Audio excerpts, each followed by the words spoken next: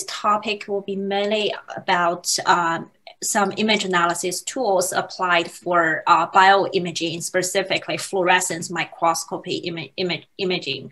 Um, so a uh, little bit a little bit about who we are. So as Wen just introduced, uh, so I am the technical director of the Multiphoton and Analytical Imaging Center at the URMC. We are part of the shared resource labs. So we provide equipment services uh, to all the researchers on campus or uh, in the nearby institutes. Uh, we work closely on daily basis with the biomedical researchers and uh, from all different departments uh, to conduct mainly for micro multiphoton fluorescence imaging.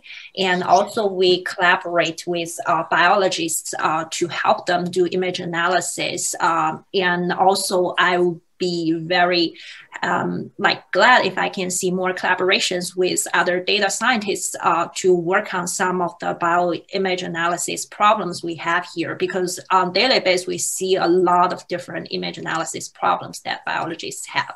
So for today's talk, I will mainly focus on two projects we have been working on in the lab um, that we um, mm, we we saw those difficulties when we conduct uh, imaging uh, using the fluorescence microscopy. So we look for ways that has been uh, fully developed in other fields that are easy and simple to use and try to apply it for the bioimages. And uh, we want it to be easy to use, but in a robust way.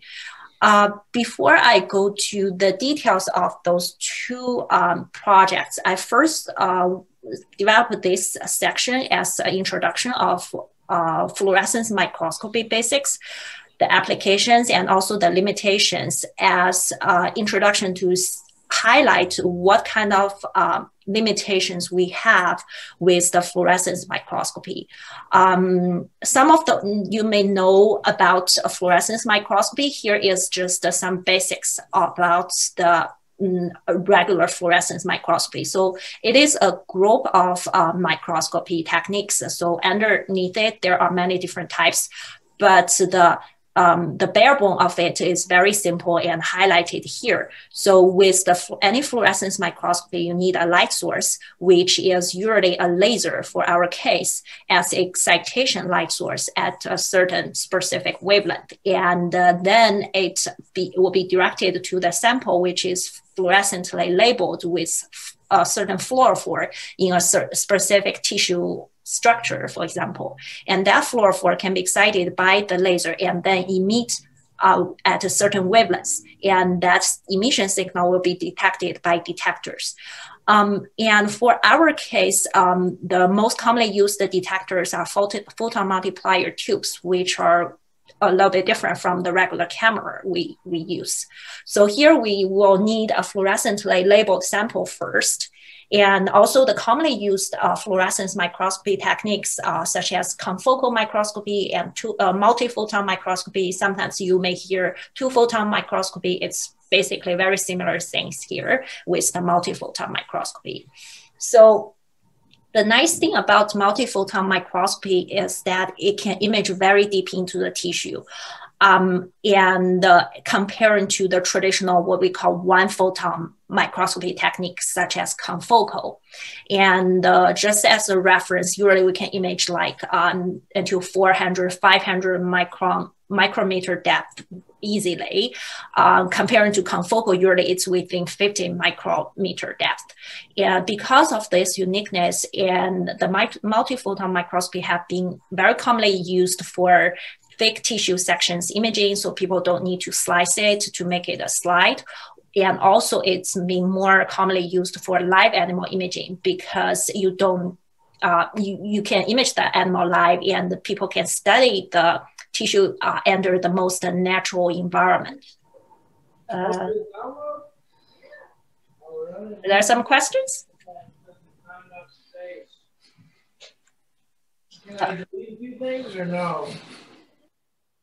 Someone has a question? I cannot hear. Hello? I think it was um, simply somebody background okay. noise, background okay. noise. That's Yeah, feel free to uh, chip in if you have any questions. Okay. Um, so um, it, so it has been commonly applied for biomedical research to study tissue structure, cellular dynamics, uh, disease mechanisms, and so on. Um, here, I would like to uh, show you three examples of the images collected on, under multiphoton uh, microscope. So uh, the first one here is a human lung tissue, uh, and this is a 3D image on the fixed uh, sample, and there are five colors uh, labeling. And what we are looking at is from surface of the tissue to the bottom and to the very bottom, we can see. So it's a loop played of the 3D. And the second example here is a live mouse uh, skin image. And this is a 4D image, uh, which my user collected a 3D image and uh, repetitively and form a time lapse here. Uh, and what you can see moving inside the tissue here are the fluorescently labeled uh, T cells, which are kind of immune cells. So that group is specifically interested in under disease model, how the immune cells dynamics change and how the interactions with tissue change. Um, the last example here is another live sample, which is a fruit fly's embryo uh, image. And uh, um, this group is interested in the development of the embryo. So what they did is they collected the data from the begin very early stage of the embryo development and tracked the cells divisions and movement along the time um, and uh, with the two photon or multi-photon microscope. So uh, what you may notice here is um, for multi-photon microscopy, it is um, uh, multi-dimensional, which uh, can be 3D, 4D, and also will be multicolor. That's another spectral dimension we add on. So um, here I want to elaborate more on the process, how a image is collected here. So I can highlight uh, what restrictions we have here with the fluorescence microscopy. So unlike any camera captured images, uh, the, the fluorescence microscopy we talk about here are mainly called fluorescence laser scanning microscopy, which include a scanning part.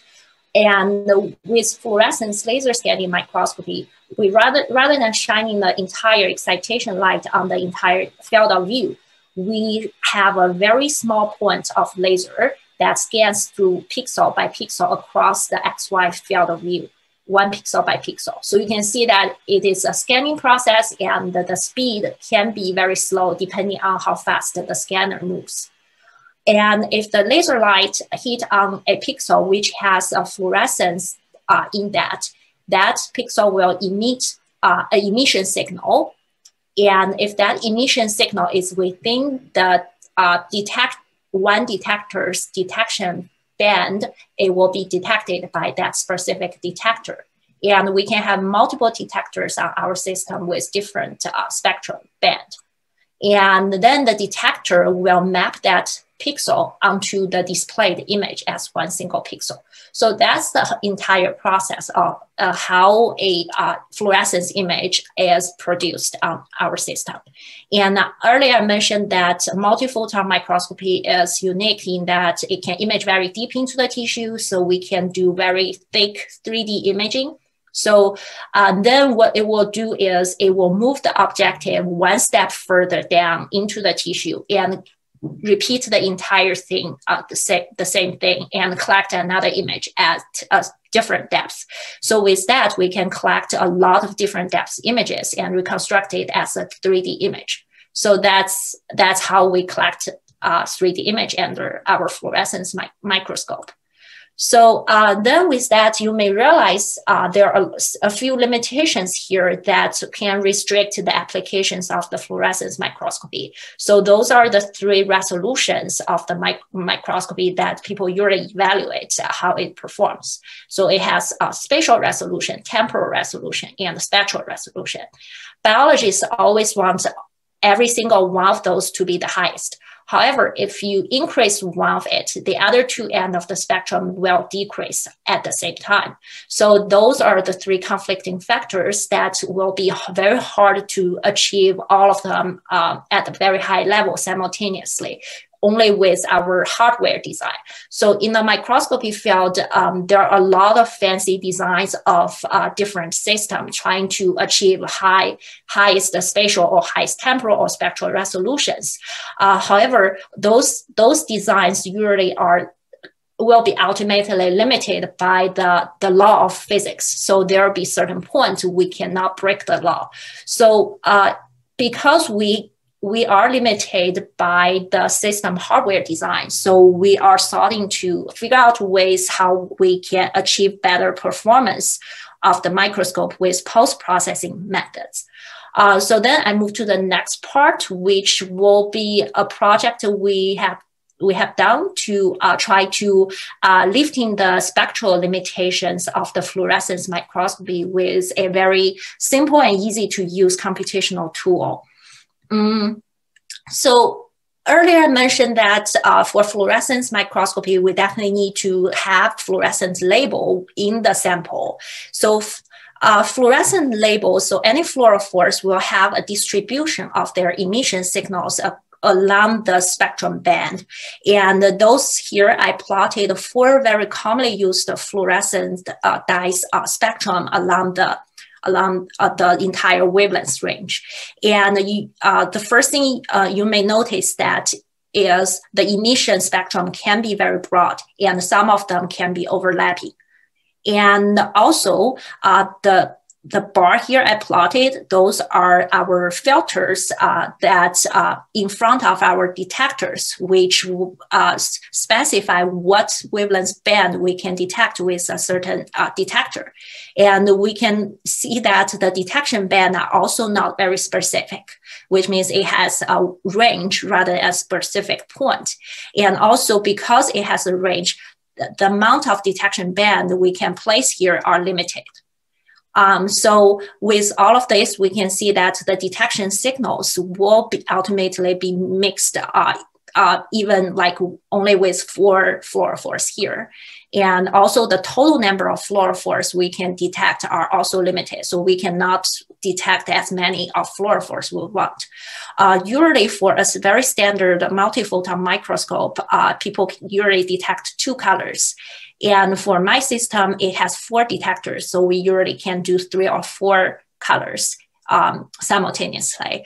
Um, however, uh, you can see here, even with only three or four colors, uh, we will have what we call channel bleed through issue, which under one detection channel, we can detect multiple signals.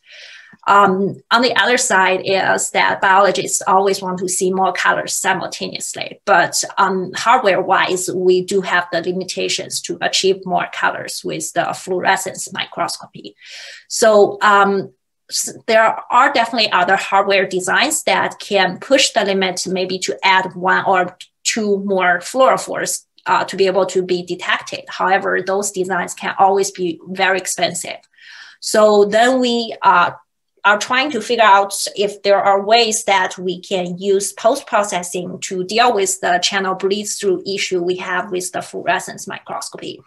So there are certain features with the computational tool uh, for uh, what we call spectral unmixing uh, here we want to achieve. First of all, we do want the tool to be blind, which means that uh, we don't want to the, the tool needs to know some prior knowledge of the spectral information. There are definitely tools on the market that people needs to measure the spectrum of all the fluorophores they have in the sample first and then set into the tool and do a kind of a deconvolution to be able to uh, mix all the fluorophores, uh, which can be expensive and also time consuming and uh, not very realistic. So we do want the tool to be blind. So uh, no, no, prior knowledge uh, is required.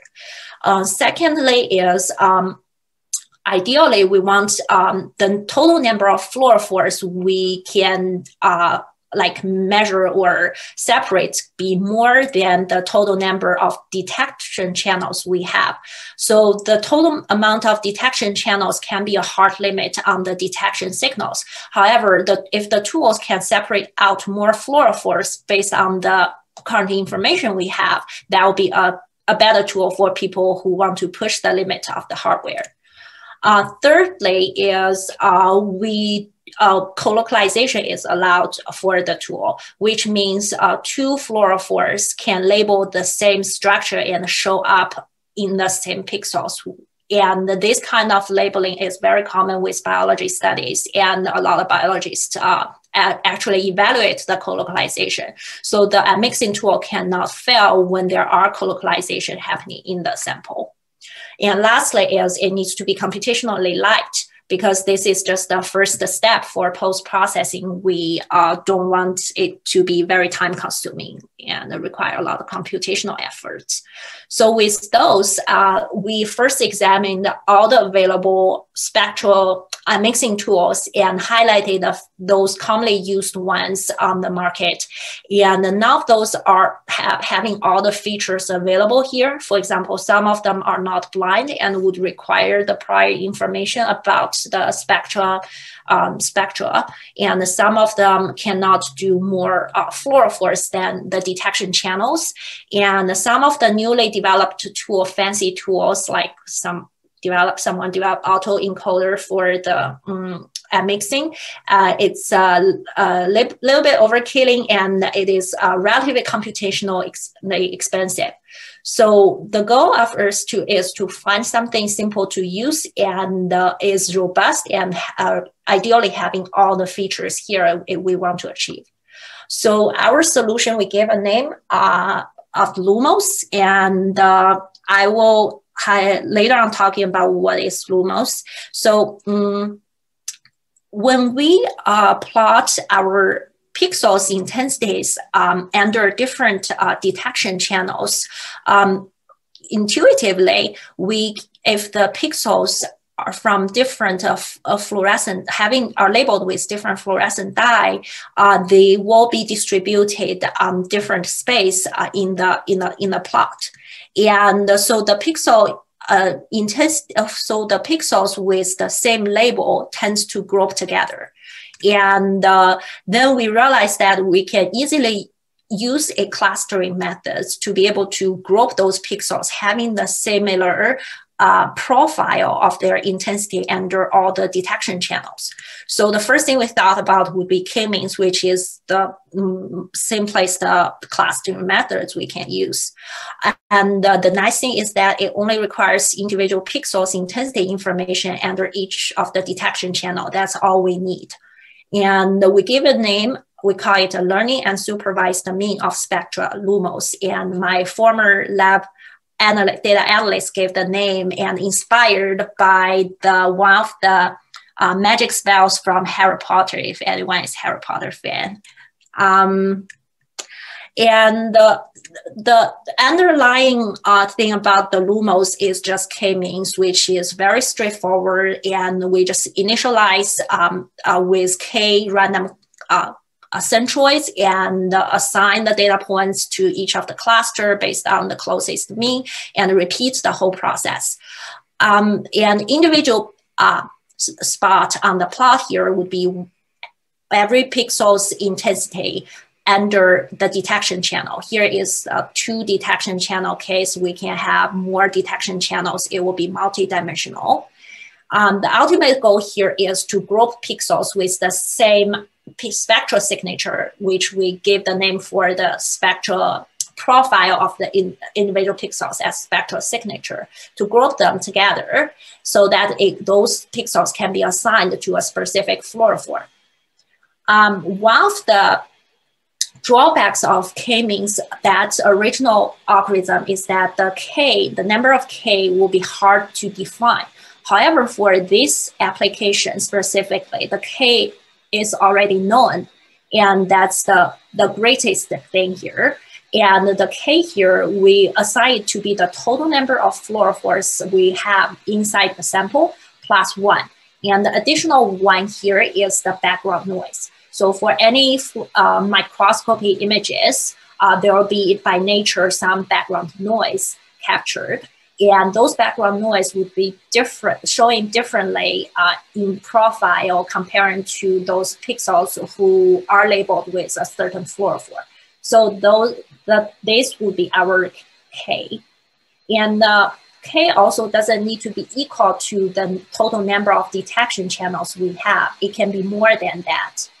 And because we have an additional cluster, which is our background noise, um, the, the, the other side benefit from the Lumos algorithm is that uh, we can also do background noise removal uh, with Lumos. So a lot of biologists also like this.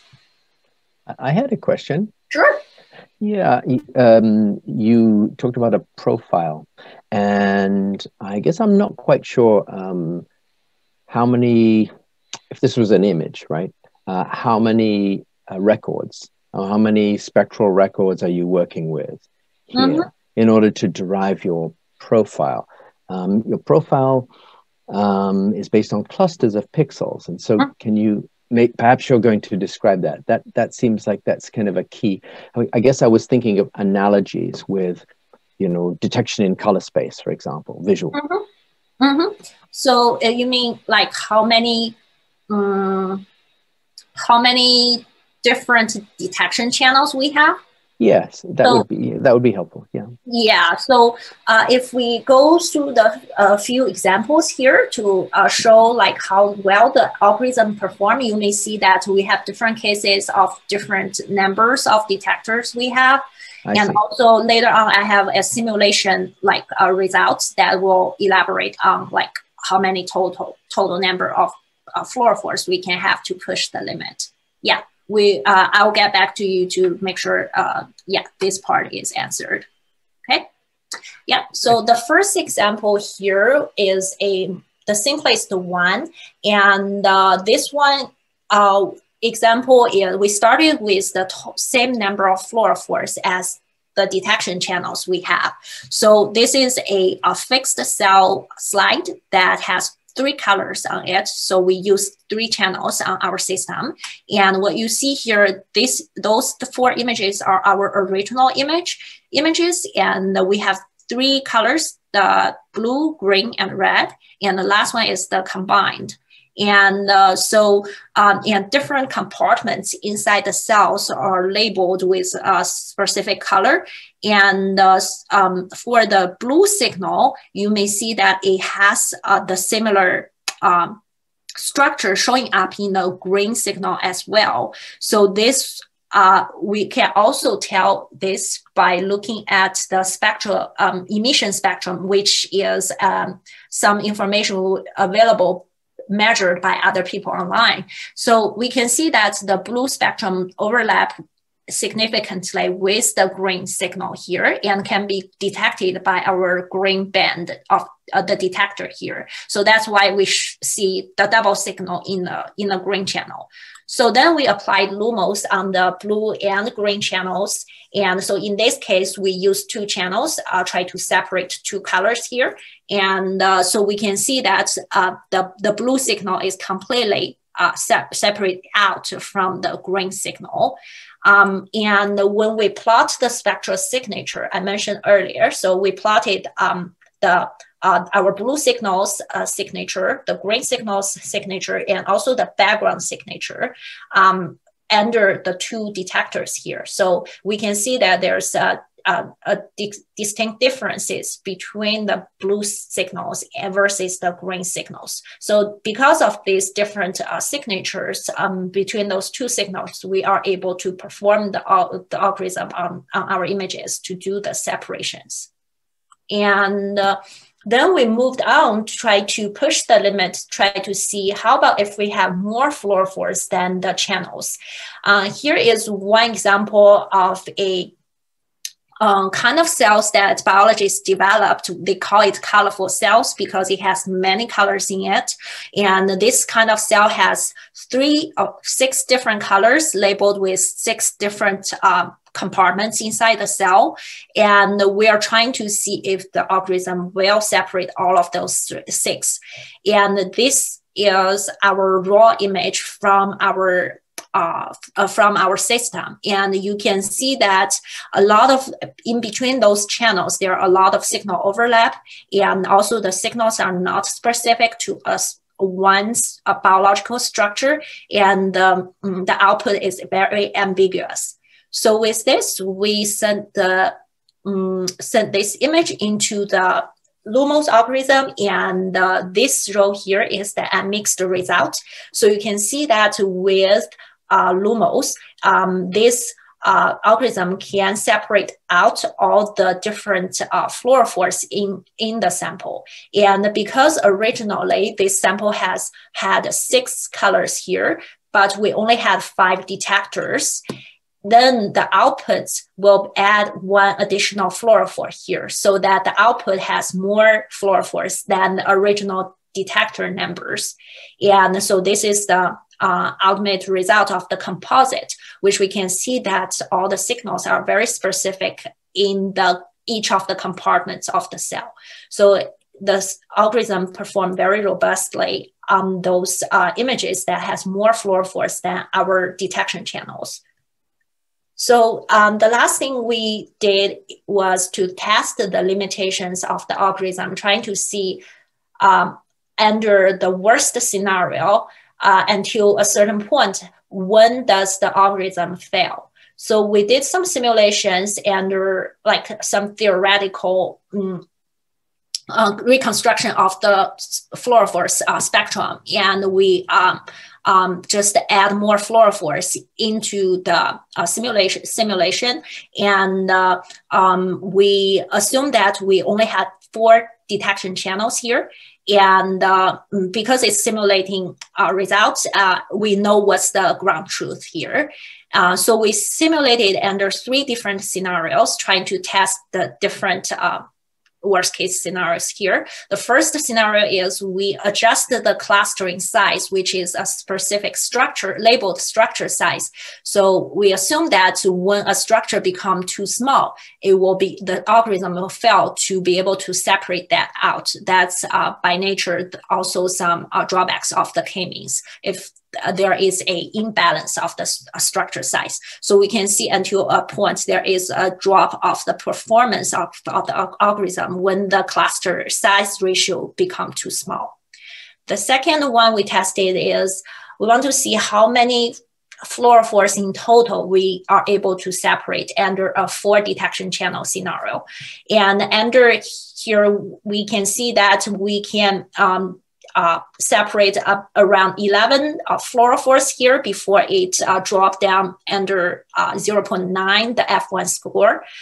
And the last thing we tested here is the signal noise ratio. So sometimes biology, uh, biological images can be very bad in quality and the signal noise ratio can be bad. So we want to see into how bad the signal noise ratio uh, the algorithm will fail. So uh, it will be around one half before it drop down below 0, 0 0.9 for the F, F1 score.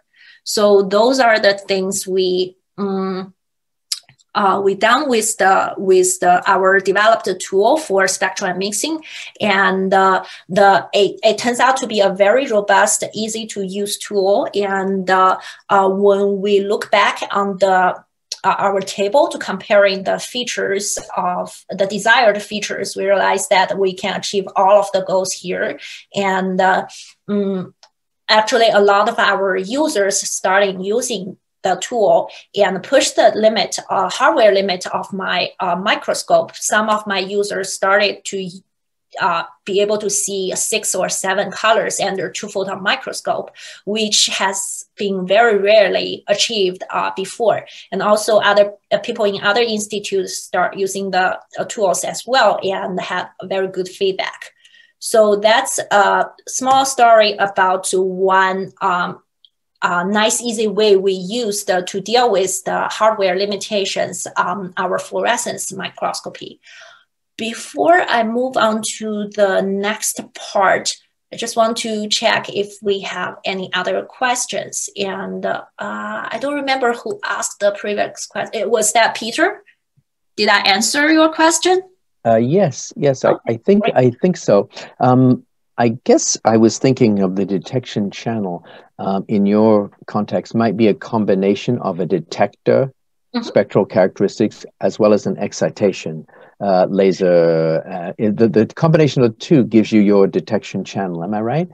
That's a great point. I didn't go very deep into that. So okay. uh, that's a great point. So I didn't uh, touch very deep on that point. So for this example, this is a more complicated example here. I, I didn't highlight here. Uh, we actually uh, were able to detect, like scan twice with two different lasers and detect it under the same detector. That is, uh, we usually call it a sequential scan uh, under our system. Uh, you can that so in that way we can actually consider it as uh, what you said, like two detection scenarios here. Um, it is not very easy to do with multiphoton um, microscopy and be, it is mainly because the laser itself is very expensive. So and most of the two multi-photon microscopy you see on the market would be only one laser. So you at one time you can only use one wavelength.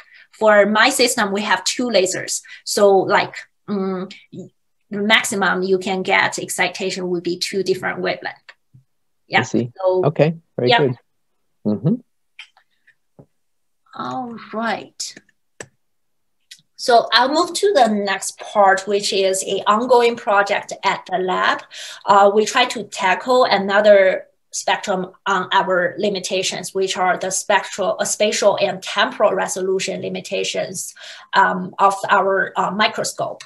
Um, so just a revisit of what I showed earlier. Uh, so we see that the fluorescence laser scanning microscopy, it scans pixel by pixel, which will make it very slow uh, when we compare it to the camera imaging.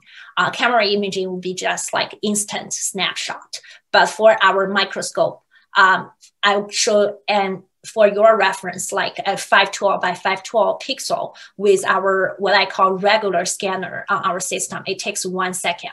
So imagine that if we have many different Z depths, it will take very long to, to, to shoot a 3D image. And we can definitely increase the speed with different um, ways um, by imaging side. So for example, we can decrease the total amount of pixels we want to scan here. However, there will be a downsampling and uh, it will, we have the risk to lower the resolution of the image we get. So that's one.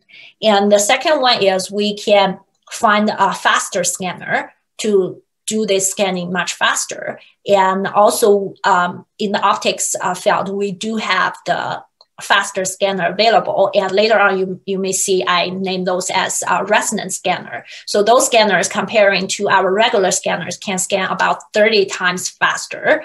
However, those faster scanner, because they scan so fast, um, it will lower the signal to noise ratio we get of those images. So usually those faster scanners uh, images you acquired would be high background noise. Um, on the other side, biologists always want more. They want uh, faster imaging and also high res- spatial resolution. So faster imaging because they want to do things in life. So they want to capture the dynamics that's happening inside the cell or inside the tissue, but they also want to see the details of the structure in those uh, in those uh, in those tissues, so they they know what they are looking at. So. Um, um, it, we can see that uh, hardware wise, it's still it's hard to achieve both. Um, and so we look into other field trying to see what in other field people are doing, try to boost up the uh, resolution of the image. So um, current state of the art, uh, there's popular field um, image super resolution. People use deep neural networks uh, to map from the low resolution images to the high resolution images. And those were mainly used for camera or we call natural images. Um, and usually, uh, due to the nature of the camera images, uh, they use the image pairs as the way that they acquire the high resolution images, but downsample it to be the low resolution image pair and uh, with either bicubic or Gaussian. But um, in this way, first it's a mm, mathematical way to downsample it. It may not be true to the real low uh, resolution image. And also there is no noise, usually no noise added. So there is no denoising part with the, with the model. Um, the most popular ones are SR, SR ResNet or SRGAN, and uh, it has been uh, very popular back in a few years before. So uh, with this, we were thinking, can we apply the similar model here to the bioimaging field? And so um, for bioimages, uh, we, we can see that there are hardware and acquisition time limitations that will limit our image resolution.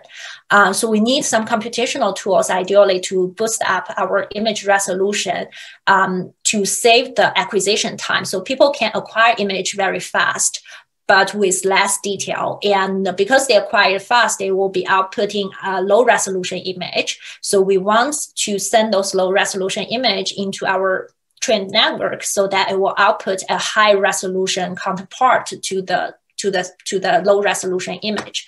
Um, so the bioimages, or fluorescence microscopy images, have some similarities with natural camera images, but it also have a lot of differences because the uh, optics pathways and how the images are acquired are all different from those camera images. Uh, and uh, the unique thing here is you may realize we can adjust the acquisition parameters here easily with the hardware uh, design to be able to acquire both the low resolution image and the high resolution image of the same field of view. So we can easily get uh, the, the, the pairs of the training data set for the model. So here is one example just to show you uh, get an uh, get idea how long it takes to acquire image. So this is a uh, three color image under my system. And if it's 512 by 512 pixels with our slow scanner, or we call it regular scanner, it takes about two seconds here to scan the entire, to get the entire 2D image. If we do it 2048 by 2048, the same scanner, it will be about one minute. And it will be impossible for biologists to do it this way. But you can, you may notice that it will give you much more details of the structures here.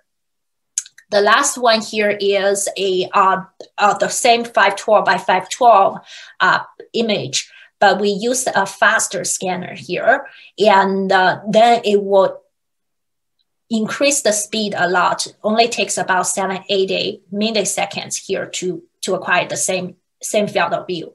But uh, you may notice there are a lot of background noise here and there, and also the structure are not very in detail. So um, with this, we can see that uh, we we do we can get high resolution image but it will take time. So for for us who developed the tool we can take the time try to acquire a lot of training data set with the same field of view and train the model. And then ideally when biologists acquire the data they only need to get the last one like this. And then the model can give them a better higher resolution image uh, that will reveal more detailed structures. So that's the goal here um, the pr- approach is uh, what we tried is uh, mainly focused on SR GAN. We also tried the SR ResNet as well. Um, and um, I believe all of you are pretty familiar with it. So uh, the GAN network will have, it does have a generator and a discriminator, two parts. And the, the loss will be the combine of the, the two parts here and uh, the generator will transfer uh, transform the low resolution image into the high resolution image and the discriminator will guide through this process to make sure the output looks like the real high resolution images here. Um, it was developed the, the entire network was uh, uh, originally developed for natural camera images, and the network was also trained on the natural camera images. Um, so we want to see if we can directly use the network to our uh, fluorescence microscopy images, and also um, are we able to train the network to be better suited for the bio images here uh, to uh, make it a little bit different from the original network's name, we call it a fluor uh, SRGAN, uh, stand for fluorescence microscopy SRGAN here. Um, so uh, little bit detail, more details about the generator and the discriminator uh, architecture here. It's exactly the same as the original network here. We just used our, uh, our own images uh, to train the model. Um, the first thing we tested was if we can have a free ride here, just to use the originally trained natural net model um, to directly apply to our images. So, uh, but the end result was not very good as what we can imagine. So left side, this is the, uh, our low resolution image. Over the right side is our ground truth, which is the high resolution image. In the middle, in the middle here, it is the output from the originally trained uh, model. And we can see the a lot of structures are um, outputted not the way we want. For example, the filament structure here are pretty uh, patched and uh, spotty and um, uh, not what we usually see uh, for bio images. So we think that, oh, we cannot directly use the original network for our bio images. So the next thing we did was to retrain the model. Uh, we didn't start with a scratch. We uh, transfer learn the model just by uh, using the originally trained model add on top with our more training data set from the about uh, fluorescence images. Um, we benefit or leverage the, the original trained network uh, by using the similarities between the camera image and also the fluorescence microscopy images. And add on top, we retrain the network so that we can add additional differences um, of our uh, images comparing to the camera images. So here are some information about uh, what training data set we use. Uh, so we use image uh, pairs here. Uh, we have three different kinds of data. Uh, the first one, we call it the low resolution, which we use the regular scanner acquired 512 by 512. And then we use the, the high resolution um, uh, image, which is four times uh, more pixel or four by four times more pixels here. And the last kind of image here is what we call a low, low resolution, which are images uh, same uh, amount of pixels, 512 by 512 as the low resolution, but we use the faster scanner. So you saw earlier, those uh, images will have higher noise, also uh, a little bit less uh, spatial resolution comparing to the low resolution. So uh, we trained as two separate uh, network at current stage. Probably later on we will combine those. So what we train is a low resolution network, which will use low res and high res image as a pair. And we also have a separate network where we use the, the low low res and high resolution image as an, a, a pair. So that's what we did. And the training data set type, uh, we have uh, different varieties of uh, biosamples here. And also we tend to want to include different uh, structure types and different labels here to be more inclusive with the model. So we have human kidney, hu human spleen, and mouse kidney, mouse placenta, and also some synthetic data as well. Uh, about 200 patch patches for each data data type, and uh, each patch. So we crop the original image into a smaller field of view. Uh, some of them are 640 by 640. Some of them are 128 by 128. And for validation data set, we use completely different uh, uh, uh, data. Uh, some of them are uh, fixed uh, cells, and some of them are human lung data. Um, and uh, for result wise, uh, we have different uh, ways to evaluate our results. The first and most direct way is by viral check. So uh, virally, uh, we, want to see if uh, by eye we can see there is a significant increase of the resolution with the output of our network. So what we see here is one closed loop example of the, our of different networks output. So over the right here, this is the ground truth, which is the high resolution image, and over the left here is the low resolution image. The top uh, row here is the our regular scanners output. The bottom row here is the faster scanners output. So this one has more uh, noise you can see with the low resolution image here. this column is the bicubic uh, interpolation result. Uh, this SRGAN column is the natural models uh, it hasn't been trained on our data's output. So you can see it's not very realistic. Um, this one is the SR ResNet output, and this column is the SRGAN's output. So uh, you can see that um, the SRGAN uh, output is closest to the ground truth uh, result. Uh, the SR ResNet uh, output is more like a filtered output, or it's uh, um, it's more smooth, um, but it's not very close to the ground truth high resolution image. So uh, virally at the SRGAN performs uh, much better. Um, so um, we also want to evaluate quantitatively here. So we used a few, um, several commonly used uh, metrics uh, within the field, like um, P, uh, PSNR, the peak signal noise ratio, and uh, the SSIM, uh, those two uh, metric uh, we want to evaluate the performance uh, quantitatively and compare uh, among different methods here. Uh, the last two rows here are our uh, SRGAN um, model trained on our, um, on our data and also the SR ResNet uh, model the result. And we can see that uh, those two outperform the other the other methods we had here. Um, and we also train that the work uh, similarly as what we uh, what they use for the original SRGAN is we also downsampled our high resolution data into the low resolution data to use those as a pair rather than rather than using the acquired low resolution image here. So you can see that with that, uh, the training, uh, the, the model performance uh, was not as good as what we have with the real, real world data.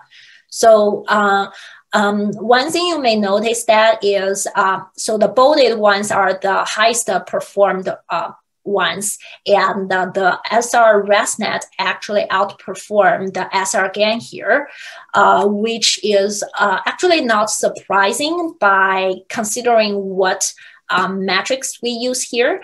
Uh, so this one you can see uh, virally it is more smooth and less noisy, but um, it, it doesn't have the the details or the the similar look as what the ground truth data is.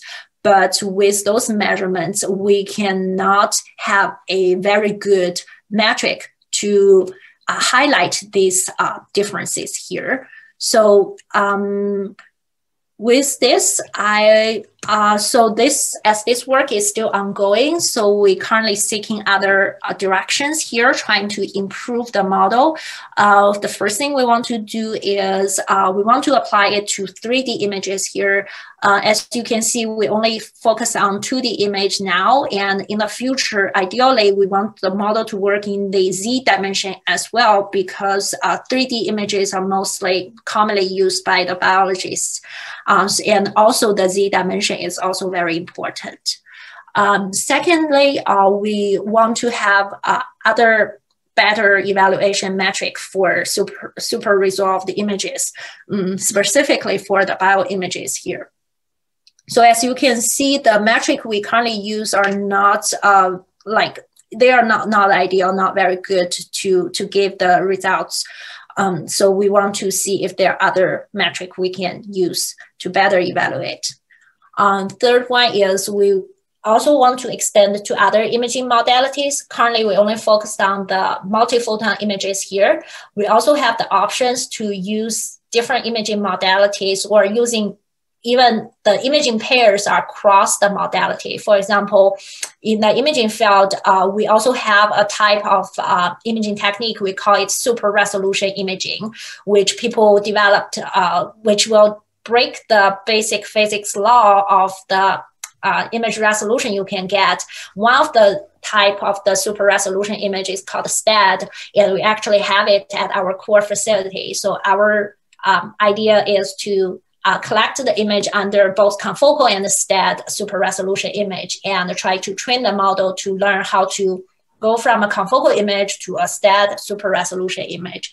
That's those are just some ideas. And last thing is definitely we want to the network to be more general so that it can be applied to many different uh, biology structures. Um, with this, I think that's the end of my talk. And uh, I want to thank my former uh, data analyst, Tristan McRae, who uh, um, most of the work was uh, done by, by him. And also the funding was from the University of Rochester. Uh, and uh, here is my contact email. Uh, if you guys have any questions, you want to um, interact, feel free to email me. Okay, thank you. And uh, welcome any questions. I have a question of uh, um, how long have you uh, been working at these various stages of, uh, of developing uh, your technique? Mm, how long? You mean? Yeah, how, the project. Uh, the first one, the spectral mixing, I think we did it within uh, about one year. And those two projects were actually like um, um, like the we were running it uh, like pretty at the same time.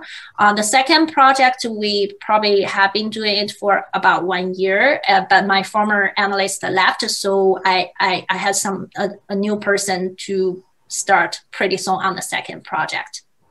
Yeah. Okay. Thanks. Sure. Uh, I had a, a question and yeah. that that was in the evaluation of the results mm-hmm. and uh, you showed the uh, the visual results and that, that, kind of makes sense and in your um, statistical analysis um, for example the similarity measure that you have there mm-hmm. uh, we, were you using as a reference I, as i understand that when i've used that before yep. Uh, as a reference were you using the high resolution version mm-hmm.